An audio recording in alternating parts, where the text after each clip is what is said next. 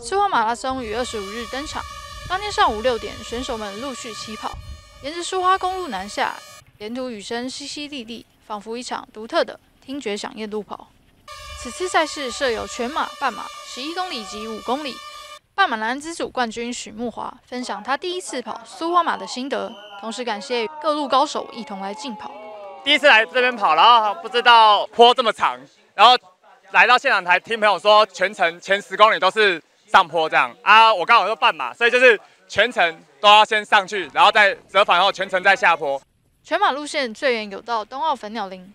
第一次感受树澳风景的古嘉伦赛后笑说，今日状态良好，才有机会在最后关头反超拿下全马男子组冠军。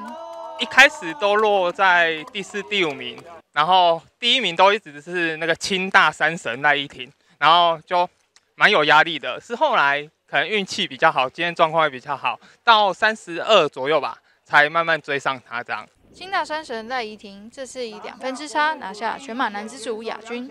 赛后谈及比赛状态，说训练量不足是让他在各个路段表现不佳最主要的因素，因此会继续加强训练。地形其实真的也不好跑，对，你要回来之后还要再经过一个大上坡，然后才陡下坡，那其实真的蛮累的。我觉得我现在应该要。努力加紧训练，我相信可以回到两小时四十分以内。那应该还有一段时间。那目前我就渐渐的把量给增加，对，希望可以回到比较好的状态。